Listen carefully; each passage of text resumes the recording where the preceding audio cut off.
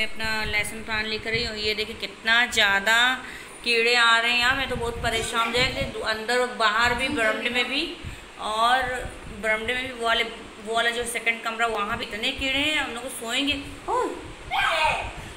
हम लोग सोएँगे कैसे? देखिए कितने सारे कीड़े हैं, कितने सारे कीड़े। माई गॉड मुझे बहुत परेशान हो जाएँगे ये देखिए।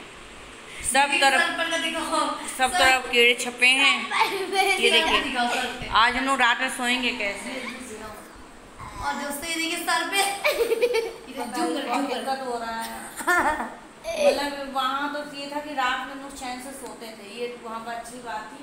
अब यहाँ पर यहाँ पानी की भी दिक्कत हो रही है। दिमाग खराब होगा मोटर लगाओ मोटर क्या करें? इतना ज़्यादा दिमाग खराब ये देखिए कैसे कीड़े गिर रहे हैं। कान सर मम्मी। आकर मेरे सजना तुझे जन्नत दिखाती हूँ जन्नत दिखाती हूँ। मैं तुझे जन्नत। है ये जन्नत। जन्नत है दोस्त हम लोग से मिलने आए हैं? और क्या कर सकते हम लोग? दीदी के तो सर में बाल में कहीं रूम में कीड़े ही कीड़े कीड़े ही कीड़े। आजा सजना तुझे जन्नत दिखाती हूँ जन्नत दिखाती ये हूँ। ब्लॉग सेकंड में जाएगा ठीक है दोस्तों? हाँ। सेकंड में गया ये क्योंकि ज़्यादा ब्लॉग लंबा जाएगा अलग ये हम लोग एक्सपीरियंस आज हम लोग इस घर में पहला दिन है और ये हम लोग एक्सपीरियंस है कैसे बहुत गंदा दिखाती मैं तेरे को पानी की भी दिक्कत हो ये जन्नत है जन्नत मेरी जान। चलिए बेचारी काम करने दे बेचारी को। बाद में तो बेचारी लगी रही है। महक रहा है सब चलो मिलते हैं बाद में हम लोग bye bye welcome back my YouTube channel Anita life with beauty नाम भूल जाती हूँ चैनल का। तो दोस्तों, अभी हम लोग सुबह जब जा रहे थे ना, स्कूल की ओर जा रहे थे तो यहाँ वहाँ एक बहुत बड़ा एक्सीडेंट हुआ था। एक्सीडेंट हुआ था एक गाय माता का। गाय माता की हालत ऐसी बुरी हुई थी, उनका जो एक पैर जो कट गया है और पूरा खून से लथपथ है। अब हम पास से तो नहीं देखे, मुझे एक दूर से एक पैर दिखा तो वो खून मतलब खून से लथपथ है और लौट के जब हम आए हैं तो मुझे तो नहीं दिखी बट सुनीता को दिखी है कि वहाँ पर वो गाय पड़ी हैं और अभी सुनीता तो वो सुबह से वैसी पड़ी है। अभी मतलब वो उसका डेथ नहीं हुआ है वो ज़िंदा है। तो यही सुनीता ये और सुनीता और सौम्या जो है ना ये देखिए हाथ में रोटी लेके जा रहे हैं और पानी पिलाने के लिए जा रहे हैं। और कि जैसे थोड़ा क्योंकि वो सुबह से वहाँ भूखी प्यासी पड़ी हुई है एक्सीडेंट कोई वहाँ बहुत है यार इसके बाद दोनों पैर टूट गए हैं ब्लड बहुत ब्लड बहुत ज़्यादा है। और एक बात है कि यहाँ गाँव है लेकिन कोई लोग ने इसमें मदद नहीं की और सुनीता ने भी हेल्पलाइन नंबर पे फ़ोन किया है। देखिए कुछ हेल्प होती ही नहीं होती है अब देखते हैं। लेकिन अभी पानी और जब कि खाना तो खिला दी तो उन्हें कुछ पुण्य होने, होना चाहिए। तो जा रही हूँ, मैं तो नहीं जा पाऊँगी क्योंकि मुझे खाना ही बनाना है, इसलिए सुनीता और सौम्या जा रहे हैं अभी। तो आगे आपको वीडियो में मिलेगा किस प्रकार से ये लोग हेल्प कर रहे हैं उसकी।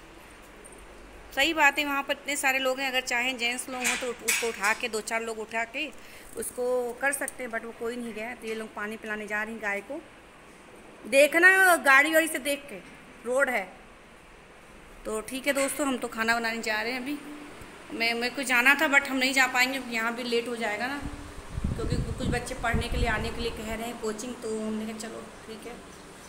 अभी जस्ट स्कूल से आए हैं, और काफ़ी देर से सुनीता हेल्पलाइन नंबर लगा रही थी। और देखिए हेल्प हो जाए तो अच्छी बात है। गाय माता की मतलब कुछ हेल्प हो जाए। ठीक है दोस्तों, फिर मिलते हैं थोड़ी देर में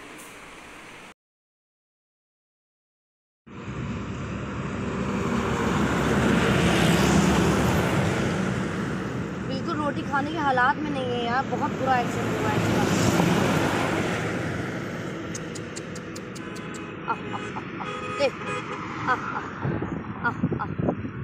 आ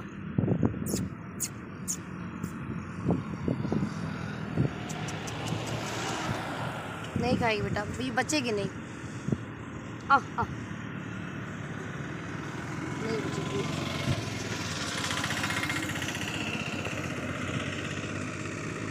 छोड़ दे बंद कर।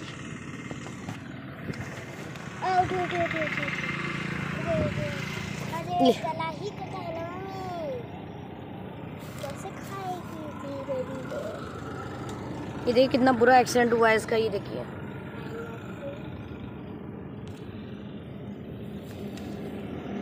आप लोग देख सकते हैं गाय माता की।